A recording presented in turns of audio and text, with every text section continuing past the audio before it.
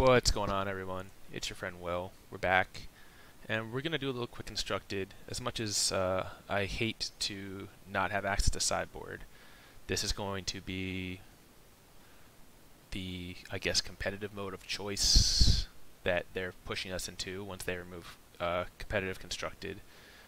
Interesting choices by WotC, but I figure I might as well bite the bullet now and start getting used to decks that'll perform well. So the bug gate that we featured in the last video, I think this deck has a pretty good game one matchup, like probably against the field, uh, by virtue of being a deck that uses the graveyard uh, to grind or to finish the game quickly, and I think a lot of decks aren't going to have ways to interact with that.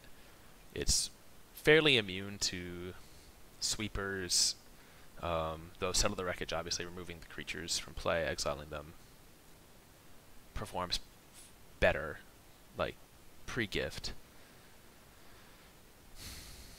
Alright, on the play, I think we have to mulligan this.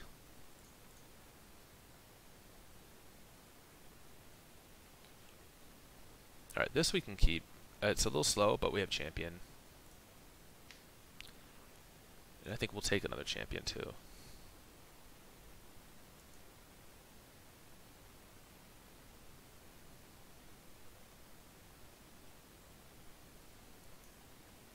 If they're kind of like green aggro, we have Brontodon as a stopper. Oh, so they might be playing the Explore deck we were playing the other day. Wow, look at these lands. Look at these perfects.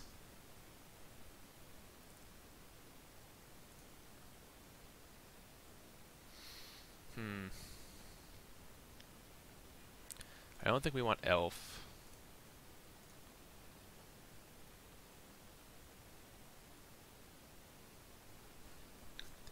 I think we want to keep this Champion of Wits because we want to keep digging. So maybe we can just discard Swamp here.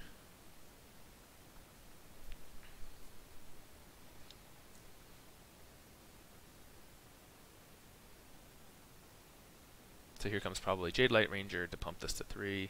Oh, Tishana's Wayfinder. Miss. Ah, darn. Oh, so they're just like a black-green straight up black green explorer. They're, they're probably playing a variation on the starter deck that you get. Alright, let's spin again. Hostage Taker's a good one. So with these here, we just want to move as many creatures to the graveyard as possible. Look to get a flip. So we have three in there, potentially four or five. We're going to hostage take next turn, I think.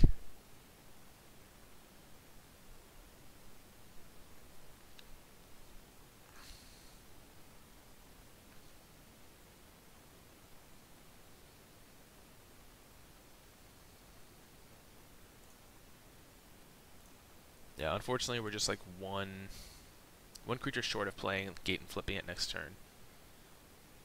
Oh, they opt not to attack with the Wayfinder here. That's really nice for us. Okay. Uh...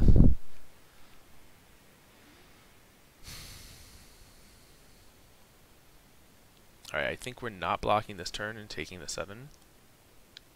Then depending on what we draw next turn, Elf is a good one. So since we drew Elf, I think we're just going to play Gate and play Elf, and we can hostage take off of a God Pharaoh's gift.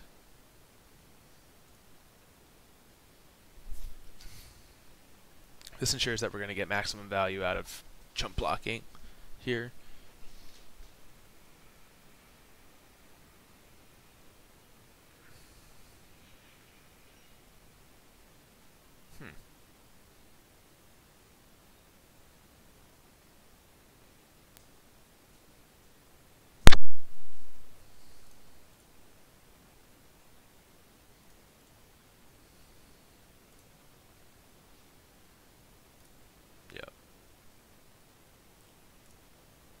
Think I'm okay with this.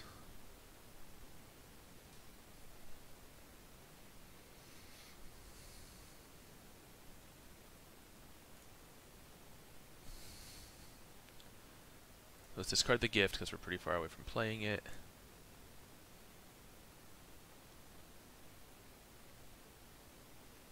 Discard Hostage Taker.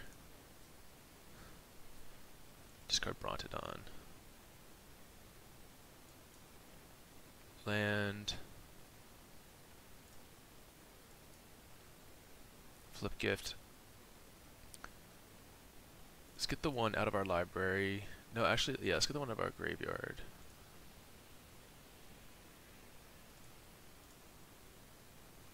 Elf. And I think we're even going to pop this Tomb Robber here.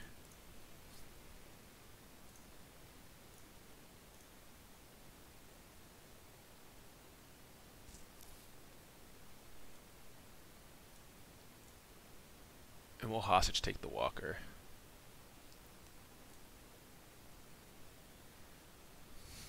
We actually have explore stuff.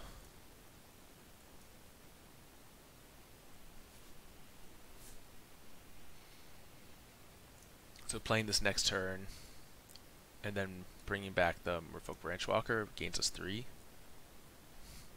This has to survive, obviously, but it doesn't get hit by Fatal Push, importantly.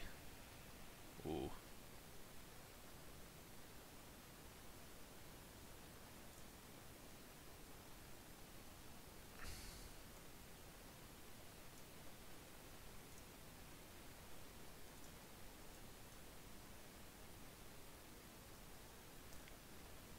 Yep, so let's gain the health.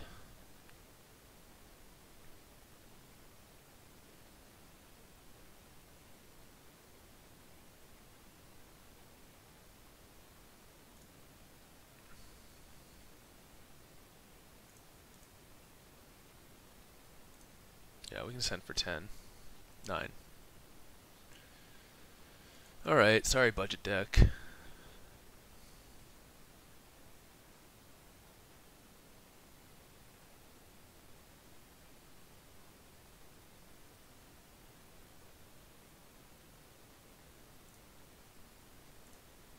Jeez. Rest in pieces.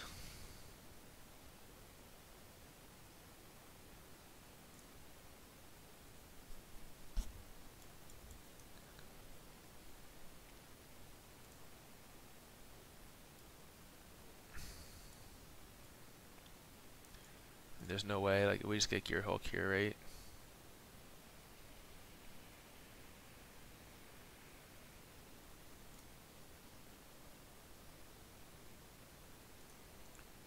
I think we just want to go two and two and make promote those as sixes.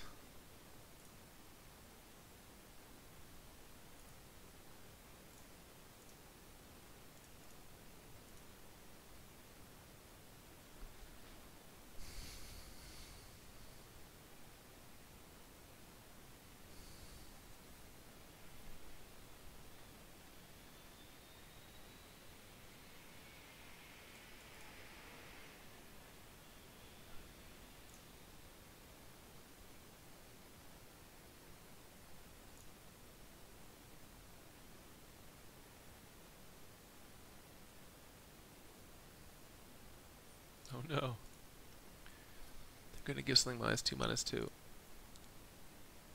It's actually a pretty good turn for them. They get to kill the elf and the Jadelight, and they get to gain 6.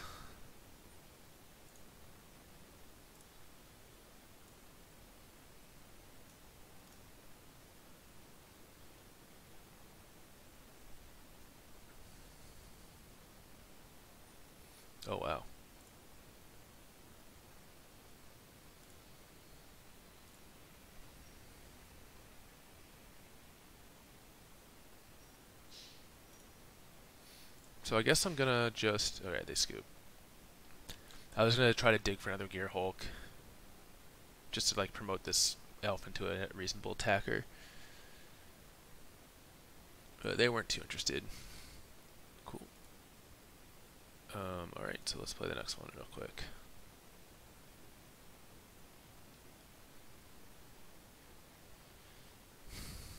I think decks like this, and probably decks like the paradoxical outcome are pretty good for this kind of like best of one gauntlet. Um, it, just because, to borrow a term that a lot of theorists use, like they're very polarized decks. I mean, that that is even God Pharaoh's gift is like less polarized, I guess, than say paradoxical outcome because that deck is just really trying to do its own thing. Whereas this still is like trying to build a board and attack, which is not fundamentally different from what other decks are trying to do. Oh, yeah, see, this is just a sick one.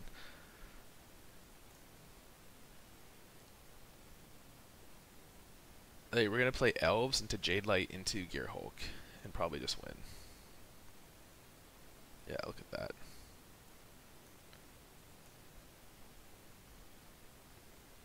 If they have tap land here, just forget about it. Yeah, GG. Actually, just game over. Uh. Hmm. Actually, drawing that next turn is not so bad. We can play that and Crane. After attacking for four. This could eat a seal away. I haven't played against like a legit blue-white control deck in a while, so I expect that this will have seal away, whereas like a lot of the three-color ones tend to be base blue-black, splashing white just for Teferi, so you don't always have to play around that. But here, I think this is just going to get sealed away. Oh, okay. So then let's play our land so we can play around Syncopate.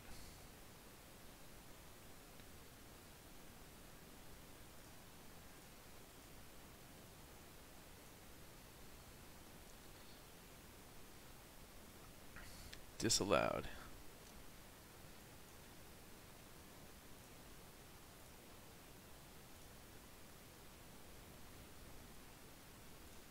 Look at that, just like we drew it up. So now they now we reveal what's going on here. And disallowing looks a little silly.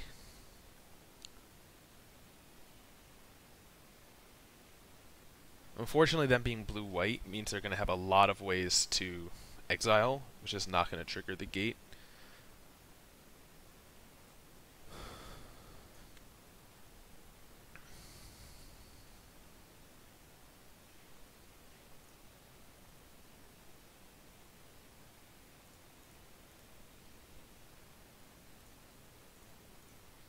Just pressure them. And I think we are actually strangely okay with them countering gate here because of the way their deck is probably set up and because we have a board. So if, if they counter gate here and then they untap and fumigate us, which I suspect is what's happening. Oh no. Alright, so now we're in Settle the Wreckage territory.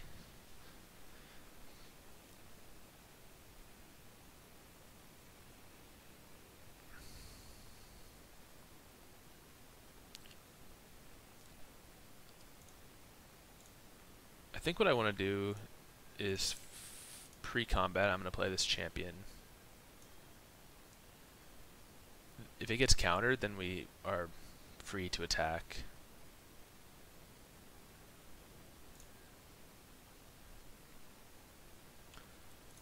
Discard Minister and Hostage Taker, which I don't think are going to be very valuable.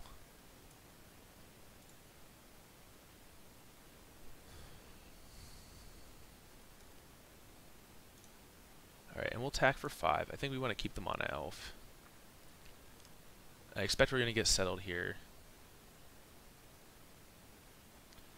Yep, so if they settle us though, now it makes Fumigate worse. Because we'll have we have lands in play for um to uh, Champion of Wits, and we also get the second main phase branch walk here.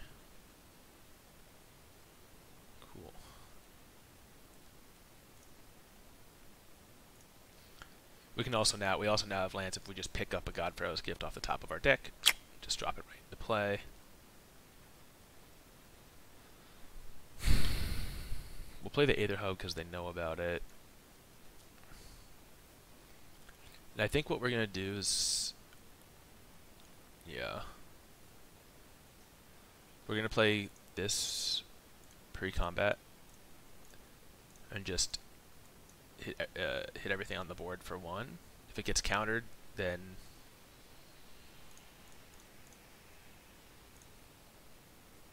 And we're just going to play exactly the same way we did last turn. Attack for 5. If we get settled, then we still have a decent board. If they trade one for one with something like a seal away or a cast out, just not that good for them here. We're also repping like disallow, which is funny. Okay. Okay.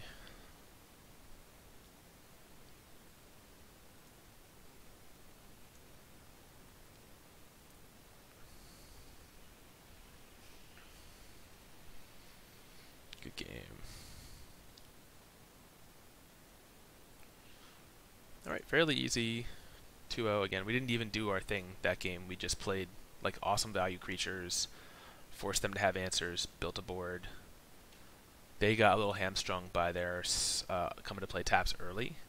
Like we got a lot of free damage in because they were just constantly down a mana despite going first. Um, yeah, let's do let's do one more.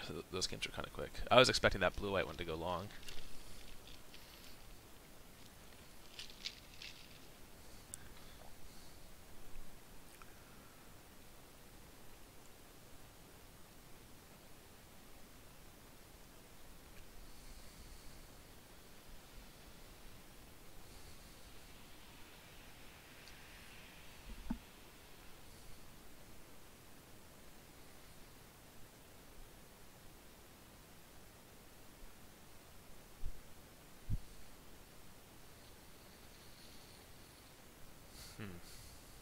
Opponent goes first, but I think we can keep this hand. Hopefully we just branch walk into good stuff. Okay. Haven't played against this deck yet.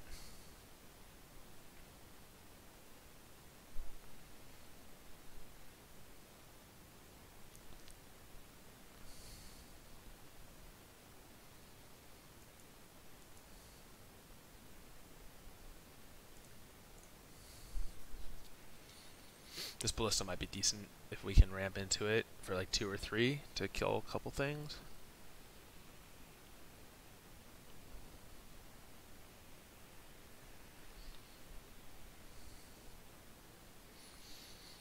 The one thing this deck is missing between the main deck and sideboard is a lot of ways way, ways to stabilize. I think it's like red deck win style red decks. I think the red black decks that are a little bit slower a little less burn heavy, it's you're okay. Like it still might not be an amazing matchup. We haven't run into it yet. Um, I think just that you're not necessarily looking at like a turn four clock, and you have a decent shot at getting a gate set up.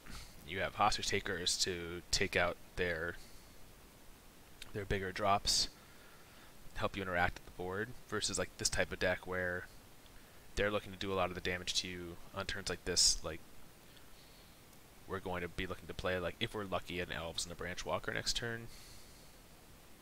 I wonder if they're just thinking about if they want to attack into this and risk losing their courier. Wow, that's exactly what they were thinking about.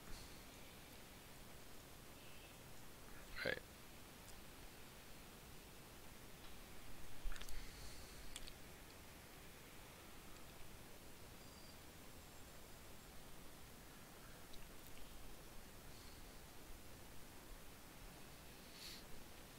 So our draw, which is not that good, is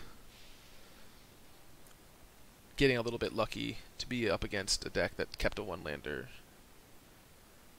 This is what kind of makes best of one like this tough. Like, this person probably has, like, a pretty... Did they mulligan? I don't know. I don't think they mulliganed. One, two, three, four, five, six, seven, eight. Yeah, so they've only drawn once. So, yeah, they did not mulligan.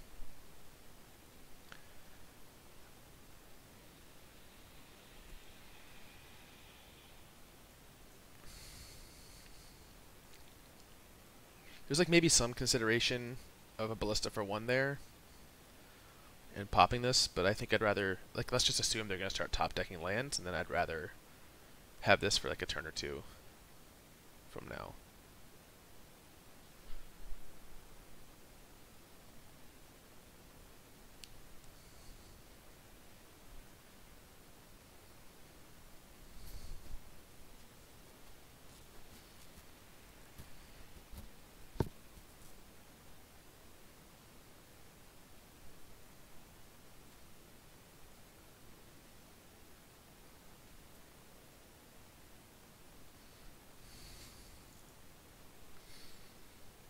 Looks like they're pretty bricked here. Oh. No, they're just like playing some, I don't know, they're like not paying attention to the game.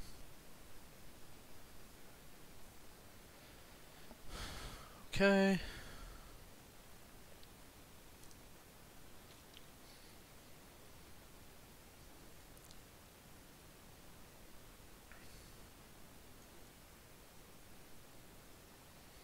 Yeah, I think rather than block, I'm just going to play double Branchwalker.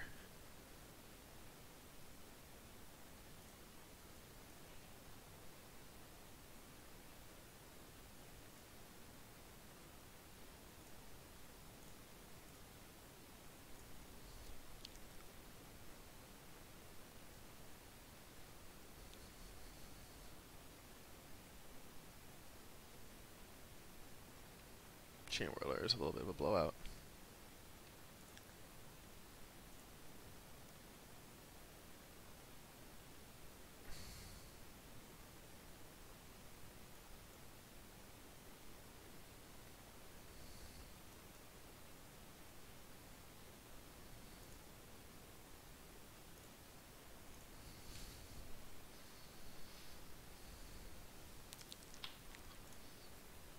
So we're fairly close to flipping.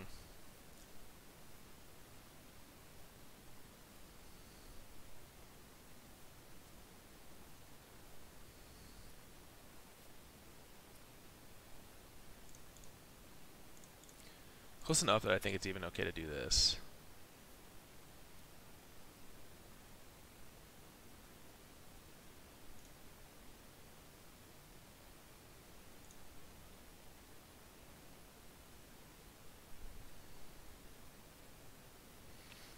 Comes another Chainwhirler.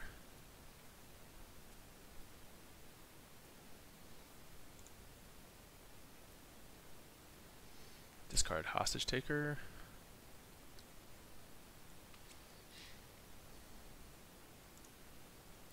Two, three, four, five, six, seven.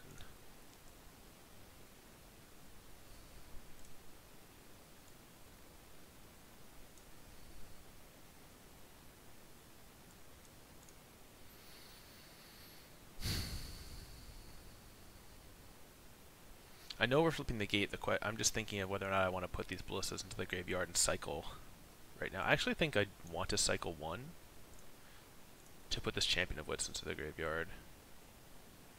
So I think that might be what we're bringing back this turn. Yeah.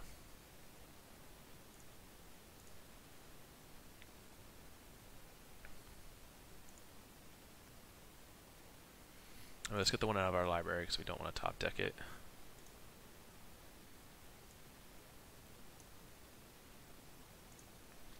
I don't think we want to bring back the hostage taker yet because uh, we want to be able to like use it. Cool, cool.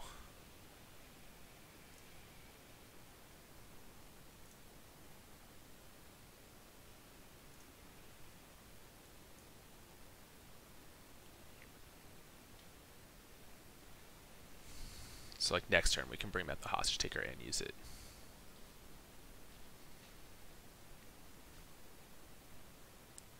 Just had it the whole time. Good thing we kept this crane.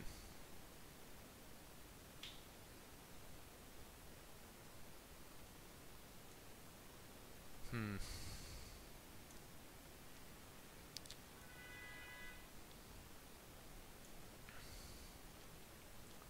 I think you just want to build a board here.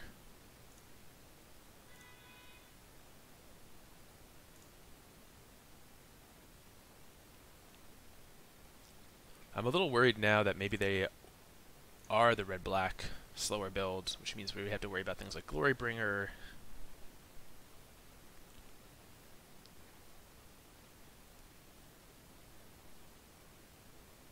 They can't even really attack, which is great. Alright, let's dig for something. Whiff.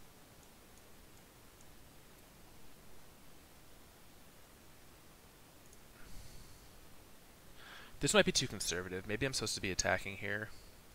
But I feel like I can't lose if I just hold back and find another gate.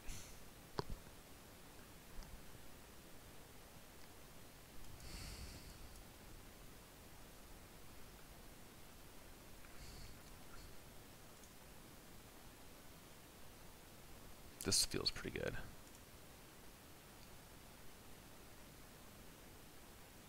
Alright, let's rumble with... Oh, we can't just rumble with one. The double block, okay. No. Uh, the double block first strike.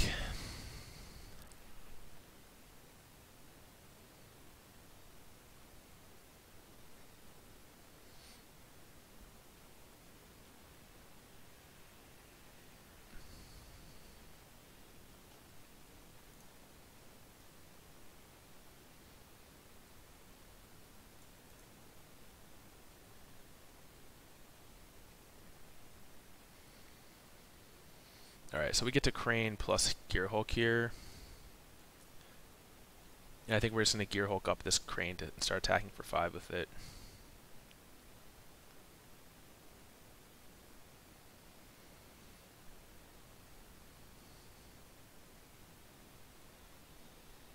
This play is a little susceptible to another Abrade.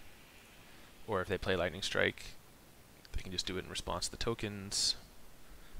But probably just making these flyers big and attacking is the way that we can close out the game from here. And we can save this hostage taker if they have like a Glorybringer or something, or a phoenix that we want to steal. So I think now that with the board the ground locked up, we are not under pressure.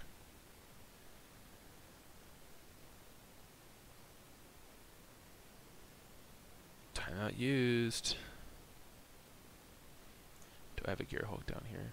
I'll take the gate. So if I have a Gearhulk down here, we'll use the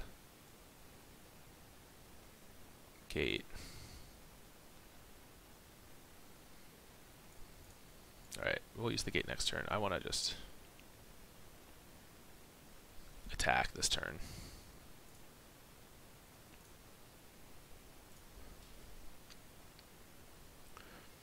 Now if they abrade this, or kill this in some way, they don't have that the upgrade for the gate.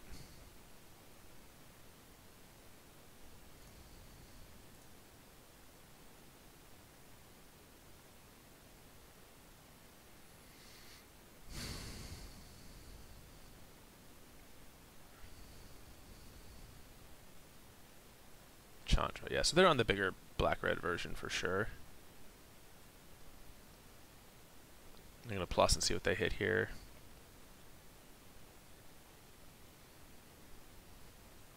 Minus four doesn't do very much. Or dealing for the minus three, like they can hit the Gearhulk, and then we get to bring the Gearhulk back and make another crane big. They probably have to plus and look for unlicensed disintegration.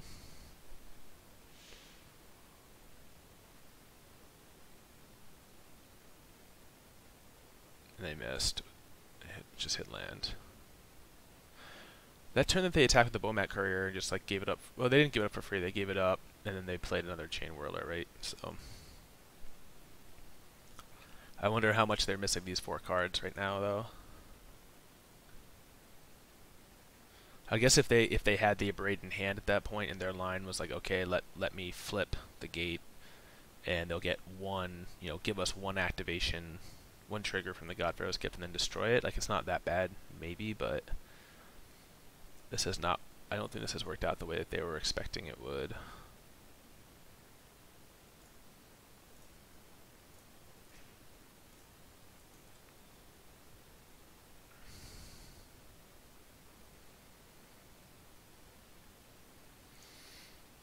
Do I have another crane down here? No.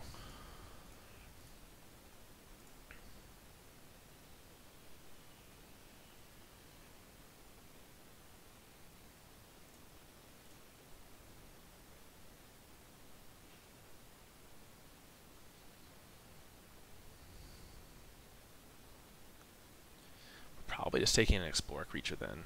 Oh, they let it trigger. They didn't set a stop in my main phase. Oh, maybe now is a good time to take Hostage Taker. Yeah. Get a Chainwhirler off the board. Yeah, that unlocks all my attacks.